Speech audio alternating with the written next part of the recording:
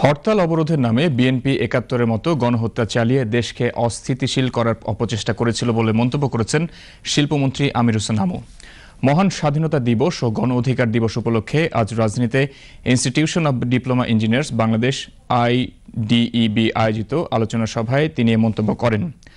আইডিইবির সভাপতি এ K M A হামিদের সভাপতিত্বে সভায় অন্যান্যের মধ্যে বাংলাদেশের কমিউনিস্ট পার্টির সভাপতি মোজাদুল ইসলাম সেলিম, জাতীয় পার্টি জেপির মহাসচিব শেখ শহীদুল ইসলাম, জাতীয় সমাজতান্ত্রিক দল জাসদ সাধারণ সম্পাদক শিরিন আক্তার এমপি, সাম্যবাদী দলের সাধারণ সম্পাদক দিলীপ বড়ুয়া এবং বেসামরিক বিমান পরিবহন ও পর্যটন মন্ত্রী রাশেদ খান মেনন বক্তৃতা করেন।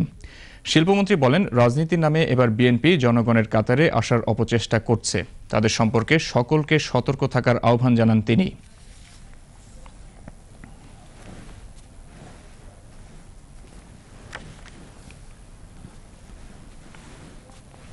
হরতালের ডাক দিয়েছে খালেদা জিয়া। অবরোধের ডাক দিয়েছে, কিন্তু হরতাল অবরোধ হয়নি, কিন্তু গণহত্যা হয়েছে, মানুষ হত্যা হয়েছে, পেট্রোল বোমা মেরে মানুষকে হত্যা করা হয়েছে।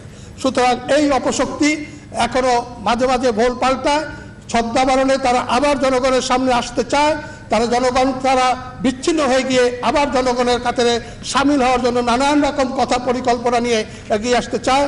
এই ব্যাপারে আপনাদের সদা সতর্ক থাকতে হবে।